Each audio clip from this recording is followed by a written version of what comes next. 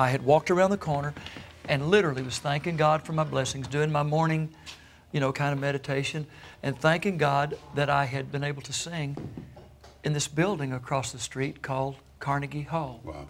My phone rang. Gatlin? I said, hello? This is Rick Perry, governor of the great state of Texas. Where you at, boy? I said, Governor, I'm in front of Carnegie Hall thanking God for my blessings.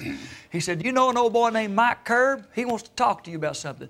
But what I said to Mike Curb, I said, Mike, if I were 25 years old and I brought you these 15 songs in that my brothers and I have recorded that I've written, I said, You'd give us a, a, a rec- recording contract and you'd sign me to a publishing deal.